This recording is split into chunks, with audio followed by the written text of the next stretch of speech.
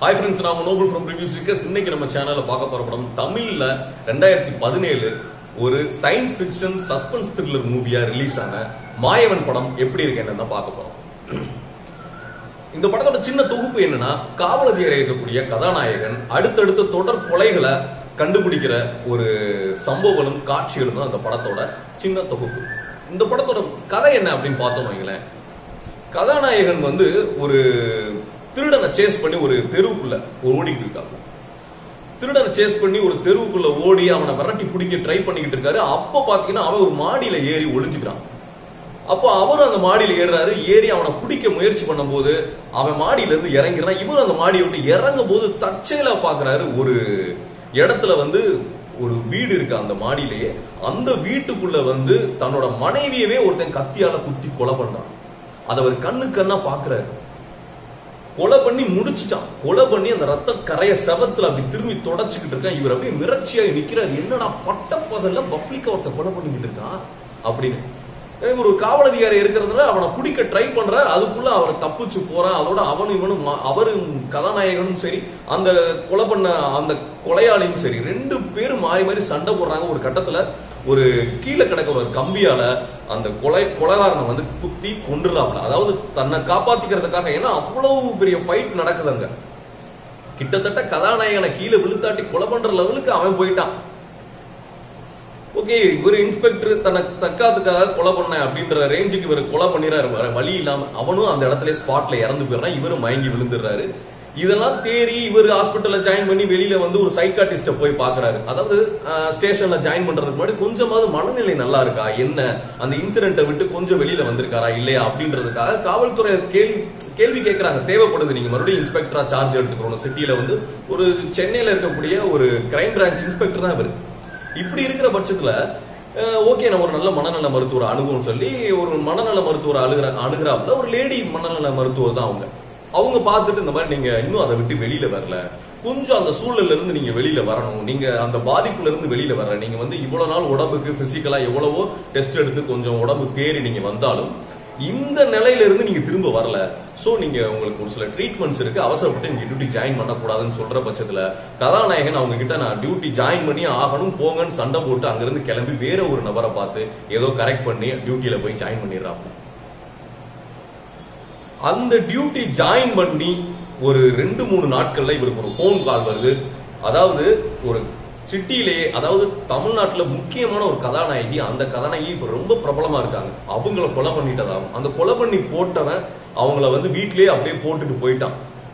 சரியா? கன்ஃபார்மா கொலை தான் அப்படின்னு சொல்லி ஒரு கால் வருது. கால் வந்ததோட இவர் நேராக அங்க போய் அந்த இடத்த இன்வெஸ்டிகேட் பண்ணணும்ல அங்க போய் பாக்குறாரு. பார்த்தா அப்படியே டிட்டோ ஒரு ஃபர்ஸ்ட் கொலை ஒன்று நடந்து ஒரு கொலகாரனை இவரை கொலை பண்ணார்ல அந்த கொலகாரன் பண்ண மாதிரியே கொலை. கரெக்டா கத்தியால குத்தி அந்த குத்துன ரத்தம் அவருக்கு அவன் கையில படிஞ்சு அந்த கையில படிஞ்ச ரத்தத்தை சவத்துல அதே மாதிரி தேய்ச்சிருக்கான் ரெண்டு கையும். இவனுக்கு என்னடா அது? ஏய் நம்ம ஏற்கனவே பார்த்த குலகாரன் பண்ண மாதிரியே டிட்டோ இதே மாதிரி கொலையா இருக்கே இது எப்படி சாத்தியம்? ஒன்றெண்டாவது மிஸ் ஆகணும். ஆனா இதுல எதுவுமே மிஸ் ஆகல. அவன் ஒரு கருப்பு கலர்ல ஒரு சிகரெட் ஒண்ணு ஒரு பிராண்டு ஒரு பிராண்டு சிகரெட் ஒண்ணு பிடிக்கிறான். அதே பிராண்டு சிகரெட் அந்த கொலை நடந்த இடத்துலயும் இருந்து கதாநாயகன் வந்து பார்த்திருப்பாரு. அதே மாதிரி பிளாக் கலர் ஒரு சிகரெட்டு இந்த கொலை நடந்த இடத்துலயும் கிடக்கும். அவன் தான் இறந்து போயிட்டானே. பேப்பர்ல முதற்கொண்டு செத்து போயிட்டான்னு போயிட்டான். நம்ம தானே நம்ம கையாலே கொண்டோம். இது என்னடா அப்படின்னு சொல்லி அந்த இடத்துல மிரட்சியாகி தலை சுத்தி தெருவுல ஓடுறாப்ல அதுக்கப்புறம் கதாநாயகன் இந்த கேஸ கண்டுபிடிச்சாரா கண்டுபிடிக்கலையா?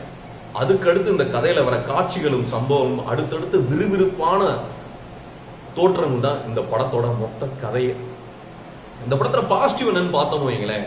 இந்த படத்தோட கதை. அதாவது கிட்டத்தட்ட இந்த கதை வந்து பாத்தீங்கன்னு வைங்களேன் உங்களுக்கு ஆங்கிலத்துல வந்து இந்த சாப்பி த ரோபோட் அப்படின்னு சொல்லிட்டு தேவ் பட்டேலும் ஹியூ ஜாக்மேன் நடிச்சிருப்பாங்க. கிட்டத்தட்ட இந்த கதை வந்து இந்த சயின்ஸ் ஃபிக்ஷன் சொல்லி இந்த ஸ்டோரி சொல்றதுல கொஞ்சம் கிட்டத்தட்ட இது மாதிரி இருக்கு. அது மாதிரி ஜானி டப்பும் மார்கன் ஃப்ரீமேனும் வந்து டிரான்சண்டன்ஸ் ஒரு படம் ஒன்று நடிச்சிருப்பாங்க. சேம் கிட்டத்தட்ட அந்த மாதிரி தான் இருக்கும் இந்த கதை நம்ம அந்த கதைக்களத்தை பார்க்கும்போது. அதுக்காக அதே கதைன்னு சொல்ல முடியாது. கொஞ்சம் அதோட ஒன்லைனர் இந்த படத்துல வந்து எடுத்திருக்காங்க. அதெல்லாம் தாண்டி இந்த படத்துல கதாநாயகர் சந்தீப் கிஷன் உண்மையாவே அருமையான ஒரு நடிப்பு. நடிப்புனா அந்த ஆக்ஷன் காட்சிகளுக்கு தேவையான ஒரு உழைப்பு அந்த படத்துல போட்டிருக்காரு. அதே மாதிரி கதாநாயகி இந்த படத்துல வந்து ஒரு படம் முழுக்க கதாநாயகி வராங்க. அது அதான் சொன்னேன்ல ஒரு சைக்காட்டிஸ்டா வராங்க. அந்த சைக்காட்டிஸ்டா அந்த ஹீரோயின் லாவண்யா திரிபாதி தான் அதை வந்து அதை பண்ணியிருக்காங்க. அவ்வளோ அற்புதமாக அவங்களுக்கு கொடுத்த ரோலை ஸ்மார்ட்டான ஆக்டிங் உண்மையாகவே அந்த பொண்ணு வந்து கதை முழுக்க அவ்வளோ அழகாக பண்ணியிருக்காங்க. இதுக்கிடையில் டேனியல் பாலாஜி மைன் கோபி அப்புறம் கேமியோ பெர்ஃபார்மன்ஸா பார்த்தீங்கன்னா உங்களுக்கு கே எஸ் ரவிக்குமார் வந்து ஒரு மினிஸ்டர் ரோல் ஒன்று இதில் பண்ணியிருப்பாரு. அதாவது இந்த கதையில வர ஒவ்வொருத்தரும் தனக்கு கொடுத்த கதாபாத்திரத்தை அவ்வளோ அழகாக பண்ணியிருக்காங்க. நீங்கள் நிறைய ஒரு பெரிய கேஸ்ட் அண்ட் க்ரூவே இதில் இருக்காங்க.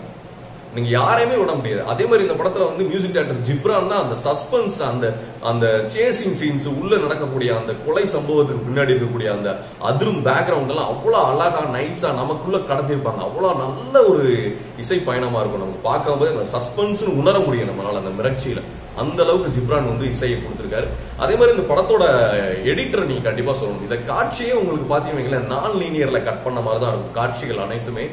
உங்களுக்கு பாத்தீங்கன்னா எடிட்டர் லியோ ஜான் பால் தான் பாத்தீங்கன்னா உங்களுக்கு இது வந்து அவ்வளவு அழகா பண்ணிருக்காப்ல உண்மையாவே வாய்ப்பே இல்லைங்க. அருமையான கட்டிங் நம்ம அடுத்தடுத்து நமக்கு அந்த ஆக்ஷன் காட்சிகளுக்கு ஏத்த அந்த கேமரா நகர்வுகளுக்கு ஏத்த அந்த சிட்டிக்குள்ள அந்த எந்த அளவுக்கு கட்டிங்ஸ் வைக்க முடியும்? இந்த காட்சியை கட் பண்ணதுக்கு அப்புறம் அந்த காட்சி போர் அடிக்க கூடாதுன்ற லெவலுக்கு அந்த கட்டிங் வந்து அவ்வளவு அழகா ஒன் பை ஒன்னா நமக்கு வந்து புரிய மாதிரியும் அந்த காட்சி கொஞ்சம் பிளாஷ்பேக் போர்ஷன் போகுது நிறையா. அதெல்லாம் தாண்டி திரும்ப டக்குன்னு உள்ள கதைக்குள்ள வர்றது இந்த மாதிரியான விஷயங்கள்லாம் அவ்வளவு அழகா இருக்கு. உங்களுக்கு குறிப்பா டேனியல் பாலாஜியோட ஆக்டிங்கை கண்டிப்பா சொல்லி ஆகணும் டேனியல் பாலாஜிலாம் அவர் அதாவது அவருக்கு என்ன கதாபாத்திரம் கொடுத்தாலும் சரி குறிப்பா வில்லன் கதாபாத்திரம்லாம் கொடுத்தா அப்படியே அல்வா சாப்பிட்ற மாதிரி அவ்வளவு அழகா பண்ணக்கூடிய ஆள். அந்த அளவுக்கு அற்புதமா அந்த படத்துல வந்து அவர் பண்ணி கொடுத்துருக்காரு. நீங்க பாருங்க இந்த படத்துல மிரட்சியாய் உட்காருங்க. அந்த அளவுக்கு அற்புதமான காட்சிகளும் கதாபாத்திரங்களும். அதை ஃபுல்லாக அந்த படத்தில் எல்லாருமே கொடுத்துருக்காங்க. டேனியல் பாலாஜி மட்டும் குறிப்பிட்டு சொல்ல முடியாது. உங்களுக்கு பார்த்தீங்கன்னா கதாநாயகன் கூடயே பகவதி பெருமாள் வந்து ஒரு எஸ்ஐயா கூடவே வருவார். நம்ம சந்தீப் கிஷான் கூடவே பகவதி பெருமாள் வந்து அவர் கூடவே வருவார். அதாவது அந்த எஸ்ஐ அப்படின்னா அந்த அந்த ரோலாவே அந்த உயரதிகாரி கூட எப்பவுமே இருக்கக்கூடியவர் அந்த இன்ஸ்பெக்டர் கூடவே. எல்லா கதாபாத்திரங்களுமே அவ்வளோ அற்புதமாக பண்ணியிருக்காங்க. ஏன்னா அந்த நடிச்சிருக்கிற அந்த கதாபாத்திரங்கள் ஒவ்வொருத்தரும் தனக்குன்னு உண்டான அந்த ஸ்பெஷலான நடிப்பு அந்த படத்தில் எல்லாருமே கொடுத்துருக்காங்க. ஜாக்கி ஷெரோஃப் உங்களுக்கு பெஸ்ட்டான பெர்ஃபார்மன்ஸ் பண்ணக்கூடியவர். அவர் இந்த படத்தில் ஒரு முக்கியமான ரோல் பண்ணியிருக்காரு. அவ்வளோ அற்புதமாக அந்த கதைக்கு தேவையான காட்சிகள் ஒரு மிலிட்ரி மேஜர் மேனாக வராரு. அந்த ஒரு தோற்றத்துக்கு ஏற்ற ஒரு ஆளாக அந்த கதையில் வந்து வர்றதெல்லாம் அவ்வளோ அழகாக அம்சமாக பண்ணியிருக்காரு. இந்த படத்தோட நெகட்டிவ்னு பார்த்தோன்னு வைங்களேன் இந்த படத்தோட நெகட்டிவ்னா நிறைய இடங்களில் நம்ம நல்லா பார்க்கும்போது தெரியுது இந்த படத்தில் நிறைய டப்பிங் வாய்ஸ் கொடுத்தவங்க இருக்காங்களே டப்பிங் வாய்ஸ்னால் டப்பிங் இவங்க அந்த ஆர்டிஸ்ட் பேசின இடத்துல கதையில் பேசும்போது இவங்க வாய் அசவு வேதமாக இருக்குது அந்த கதாபாத்திரம் பேசுனது. ஆனால் அவங்களே திரும்ப டப்பிங் பேசின இடத்துல கொஞ்சம் வாய்ஸ் ஓவர் பண்ணியிருக்காங்க கொஞ்சம் வாய்ஸ் சேஞ்ச் பண்ணியிருக்காங்க அது நமக்கு நல்லாவே தெரியுது.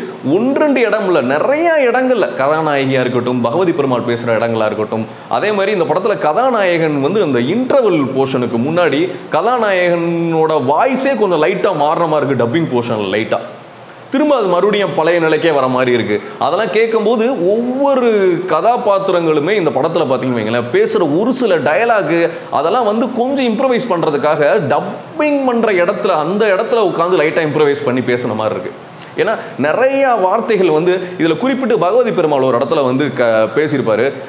வட்டமாக என்னமோ எழுதி காமிச்சாங்களே அது என்னன்னு தெரியலையே. வட்டமானா அது என்ன வேணா இருக்கலாங்க அப்படின்னு இவர் சொல்கிற மாதிரி இருக்குது அங்கே கதாபாத்திரம். ஆனால் வாய்ஸ் நமக்கு கேட்கும்போது வட்டமாக சூரியன் மாதிரி இருக்கலாம் வட்டமாக சிடி மாதிரி இருக்கலாம் அப்படின்ற மாதிரி ஒரு விஷயம் சொல்கிறாரு அதெல்லாம் கவனிச்சோம்னா அதில் அந்த மாதிரி வார்த்தையே அவர் வாயில் வரல. ஆனால் வேறு ஒரு வார்த்தை அதில் வருது. இப்படி கதை முழுக்க ஒவ்வொரு இடத்துலையும் நீங்கள் உத்து கவனிச்சிங்கன்னா டப்பிங்கில் கொஞ்சம் இவங்க வந்து இம்ப்ரவைஸ் பண்ண ட்ரை பண்ணதை கதாபாத்திரங்கள் ரியலாக ஏற்கனவே ஷூட்டிங் ஸ்பாட்டில் எடுத்த ட- பேசுகிற வசனங்கள் வேறு இங்கே கொஞ்சம் இம்ப்ரவைஸ் பண்ணுறது நல்லா தான் இருக்குது கேட்குறதுக்கு ஆனால் நமக்கு அதை பார்க்கும்போது உத்து கவனிச்சு அது மட்டும்தான் எனக்கு அந்த படத்தில் ஒன் ஆஃப் த ஒரு நெகட்டிவாக நான் பார்க்குறேன். அதெல்லாம் தாண்டி பார்த்தீங்கன்னா இது மெச்சூர் ஆடியன்ஸ் எல்லாருமே இந்த படத்தை நீங்கள் வந்து பார்க்கலாம். நல்ல படம்.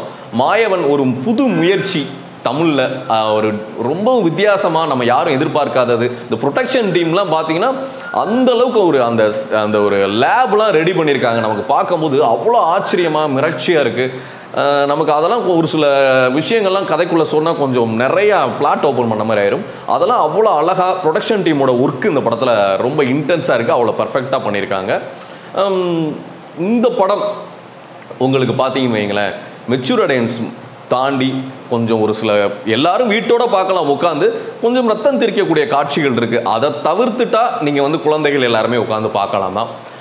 அமேசான் ப்ரைம்லேயே இந்த படம் இருக்குது கண்டிப்பாக பாருங்கள் உங்களுக்கு பிடிக்கும். நான் பேசியிருந்த வீடியோ உங்களுக்கு பிடிச்சிருந்துச்சுன்னா லைக் பண்ணுங்கள் ஷேர் பண்ணுங்கள் கமெண்ட் பண்ணுங்கள் சப்ஸ்கிரைப் பண்ணுங்கள் குறிப்பாக கீழே இருக்கிற பெல்லைக்கான ப்ரெஸ் பண்ண மறந்துடாதீங்க. Bye friends